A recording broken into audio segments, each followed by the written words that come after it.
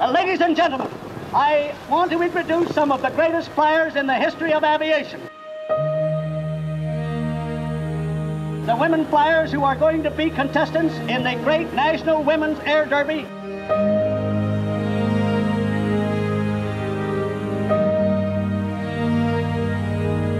I think this race is going to be a great success, and I certainly hope so. Don't miss Breaking Through the Clouds on Documentary Showcase.